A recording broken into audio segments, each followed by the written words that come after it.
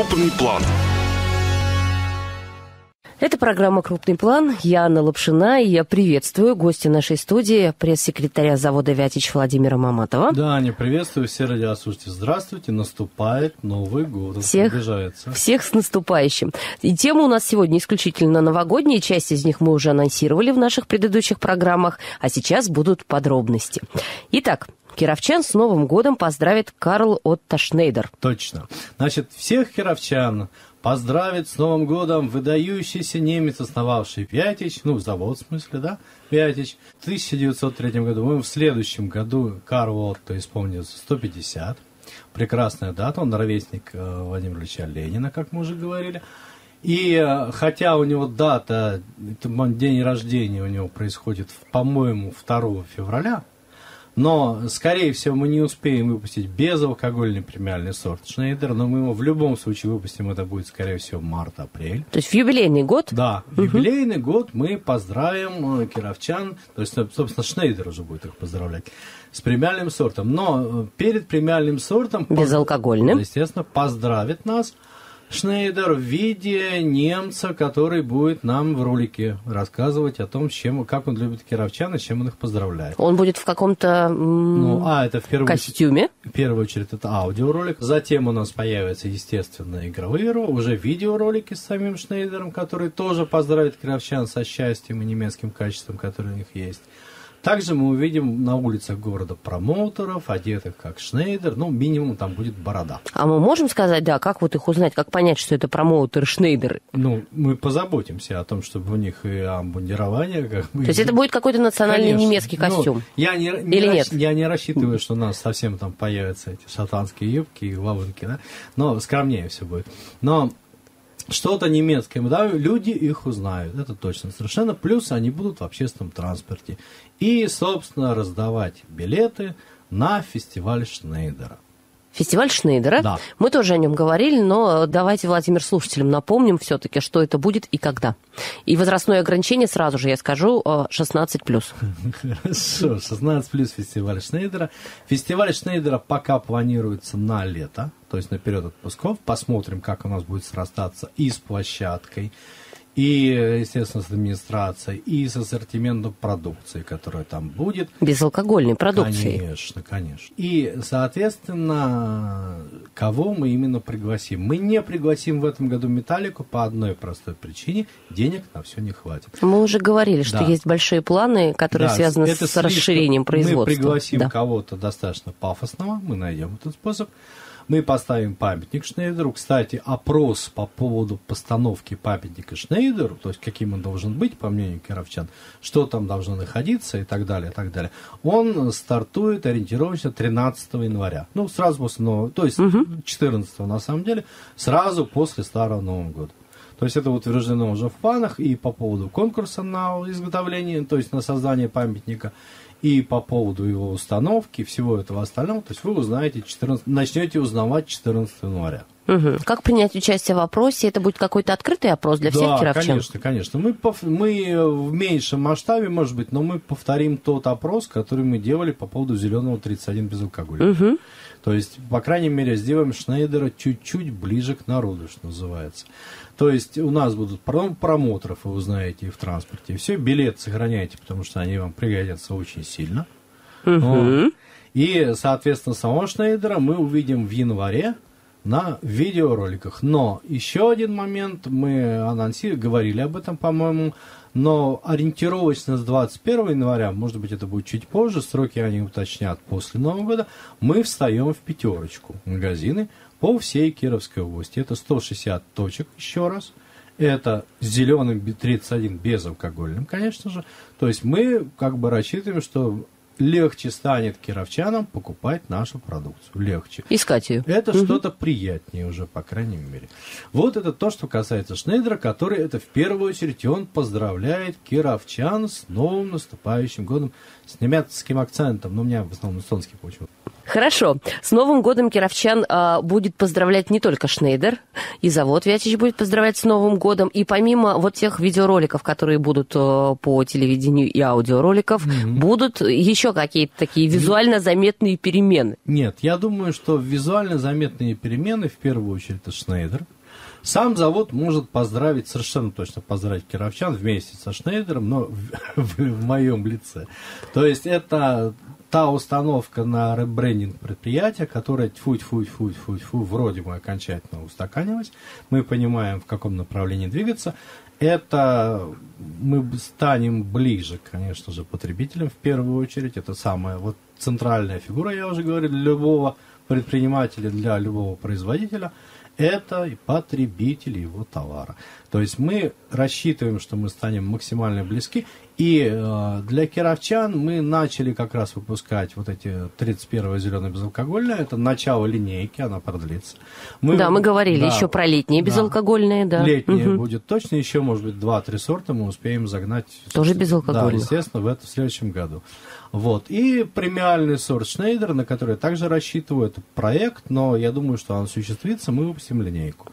То премиальные безалкогольные пиво. Да, премиальные угу. безалкогольные. Плюс мы, скорее всего, нашли способ, каким образом. Оно достаточно высоко по цене, и эта цена непривычна в отношении кировского пива для кировчан безалкогольного, да? Но это премиальные. Это премиальные. Безалкогольные, мы да. просто начнем фасовать его в 0,33, так же, как делают наши бельгийские товарищи, значит, европейские товарищи, фасовать в 0,33, чтобы иметь обычный, нормальный, средний кировчанин мог прекрасно иметь возможность попробовать. Угу. То есть, ну, на первом этапе, конечно, это будет дегустация на заводе, какие-то открытые и закрытые дегустации, рекламные какие-то ходы. Но в итоге мы нашли, по-моему, нашли способ для того, чтобы это пошло в массу. Я не рассчитываю, что это абсолютно массово ежедневно, но это приятная, интересная вещь. Плюс, это новинка. Новинка, новинка, конечно. Вот, э, собственно, и завод может поздравить кировчан с тем, что мы определили сервелинное предприятие, который окажется, мы надеемся от всей души, окажется востребован именно для самих кировчан. Ну и не только для кировчан окажется востребованной продукция вашего завода, потому что мы говорили об этом в предыдущих наших программах, да, вы идете в соседние регионы, окрестные регионы, выходите на рынки Окре... соседних соседние, регионов. Планы такие, по крайней мере, есть. Планы есть, планов у нас громадье. В первую очередь, что мы почувствовали все равно себя увереннее, на самом деле, в этом году, несмотря на все пертурбации, неприятности, там, недоразумения и так далее. Мы почувствовали себя увереннее, и у нас, по нашим, по нашим представлениям, есть рынок в окрестных регионах ПФО, где практически, вот есть регионы, в которых нет никакого своего пивоваренного производства безалкогольного, конечно угу. же, да, никакого нет. Плюс убита местная розница, то есть там федеральные сети. Сейчас мы начали. Не производителей, не продавцов. Да. Мы начали работать в Чечне, ну как, продавцы. Нет, ну я имею в виду местных, локальные, да. да. Мы начали работать с пятерочкой, это меня окрыляет в какой-то степени это начало, то есть посмотрим, как дальше. Я думаю, что благодаря и магнит подключится, я практически уверен теперь. Я думаю, что благодаря федеральным сетям мы достаточно быстро окажемся в соседнем регионе, раз. Во-вторых, мы подбираем сейчас инструменты для того, чтобы туда зайти качественно и хорошо. В следующем году мы надеемся, что мы, по крайней мере, наметим регионы, в которые мы будем двигаться. То есть, поэтому и жители окрестных регионов зовут Вяч тоже может поздравить с Новым годом, который им сулит позитивные, интересные перемены. Я правильно понимаю, что продвигаться вы будете в соседние регионы, в том числе при помощи интернета, через приложение? Ну, приложение, которое мы, я думаю, я думаю, что мы запустим его летом-осенью следующего года. Угу. И при, на приложение я, возлагаю лично очень большие надежды, потому что приложение ВИА, существующее на смартфонах, оно дает возможность, во-первых, транслирования всего и вся, касающейся наших продуктов, для самой широкой аудитории. Такое маленькое СМИ. Это не маленькое большое СМИ. СМИ. Это большое СМИ, потому что я предполагаю, что аудитория составит примерно 150 тысяч по Кирову и Кировской области. Это достаточно, это, мягко говоря, хорошо. Ну, ты представляешь себе размер. Ну, конечно, да. каждый, каждый десятый, даже, пожалуй, даже больше. Даже да. больше, учитывая угу. пользователей смартфонов. Да? Этого вполне достаточно. Плюс мы обеспечиваем себе постоянное присутствие на информационном рынке. То есть мы не будем забывать ни в коем случае традиционные СМИ, в частности «Эхо Москвы». Но, тем не менее, мы имеем не только свое СМИ, но и мы имеем кэшбэк с покупок продукции Вятича.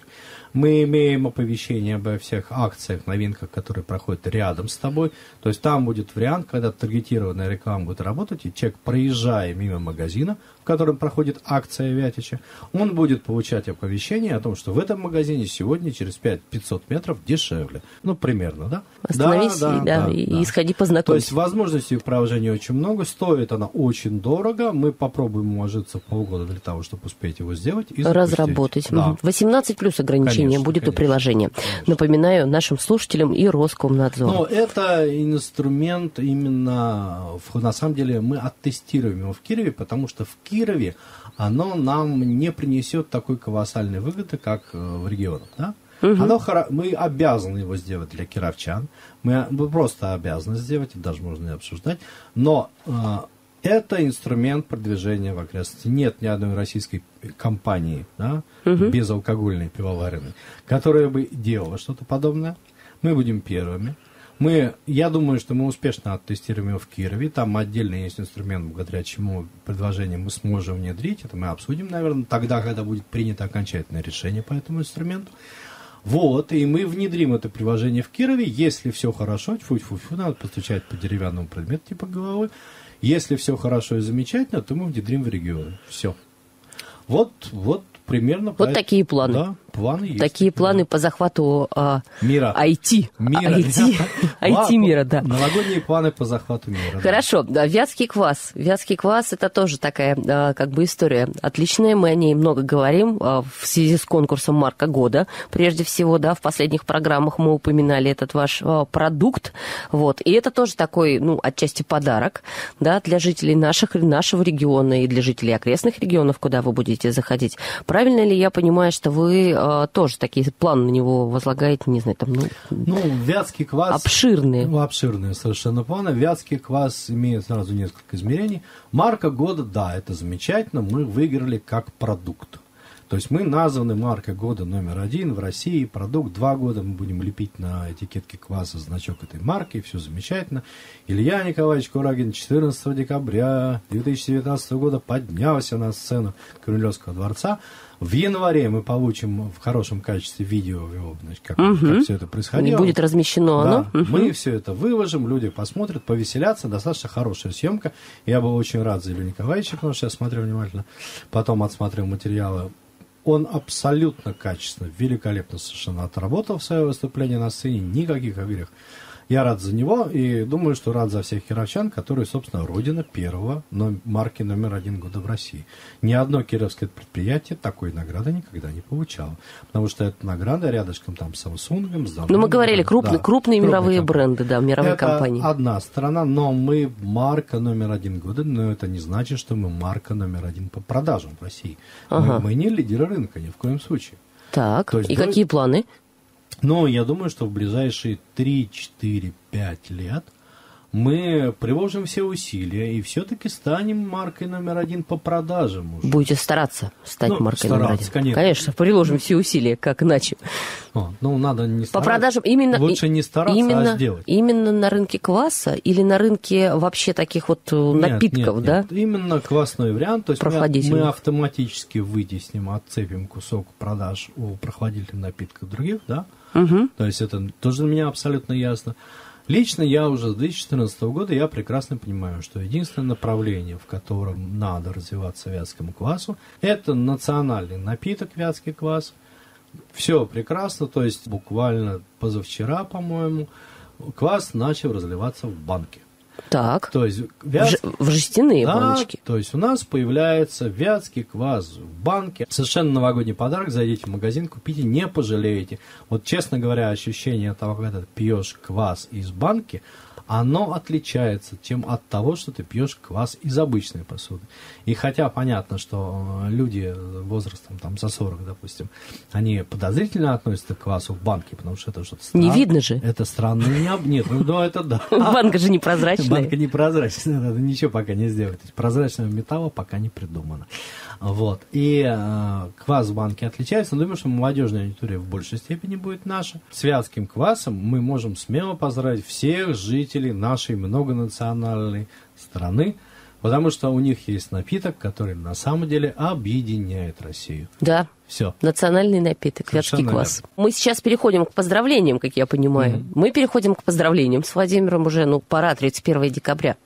Мы начали с поздравлений, завершать программу тоже будем поздравлениями. Конечно. Да, могу совершенно честно поздравить всех граждан Российской Федерации от имени завода и посоветовать... Кировчан в первую очередь, Конечно. наверное. Ну, кировчан поздравляем Шнейдер, потом завод. А сейчас мы более широко поздравим практически всех с очень простым пожеланием. То есть э, рекомендуется дышать глубже Почему? и набираться оптимизма.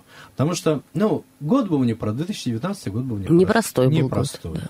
И э, я, честно говоря, не жду, что 2020 будет хоть в чем-то проще. Потому что он високосный. Я не знаю, нет. Вот я сегодня с утра смотрел астрологическую программу, и Юпитер вошел в знак Козерога. Это означает, как мне подсказал тот же комментарий да, к этой астрологической программе, что предстоит, ну, собственно, она уже началась, Мгм, да, мы мгм. видим по ребрендингу, мы видим по внедрению Шнейдера, по новым сортам. Вот. Началась упорная работа по созданию чего бы то ни было. И весь год, пока Юпитер будет пребывать в Козероге, придется, товарищи, работать, работать и еще раз работать. И удача, и успех будет на стороне только тех людей, которые готовы пахать. Поэтому следующий год – это год людей с закатанными рукавами. Год трудоголиков, Да, получается. совершенно верно. То есть, поэтому, ребят, все очень просто. Если хотите счастья и удачи в новом году, работайте. Всё. Ну ладно, впереди 8 дней выходных у кого-то. Пусть люди хотя бы немножко расслабятся, хотя бы в начале года. Это было бы невероятной глупостью пытаться отменить русские национальные традиции в угоду каким-то астрологическим программам. Конечно, мы не будем. Поэтому с праздником всех большое спасибо. Пусть Вячич будет с вами в новом году. Всего доброго. Благодарю. На этой ноте мы с Владимиром Маматовым программу «Крупный план» завершаем. А, теперь уже точно до встречи в следующем году. Да, всем нашим слушателям еще раз поздравления с Новым годом от Вятича, от нашей радиостанции. Всем, Всех всем с Новым годом. с наступающим. До свидания. Возрастное ограничение упомянутых в программе аудио и видеороликов 18+. Крупный план.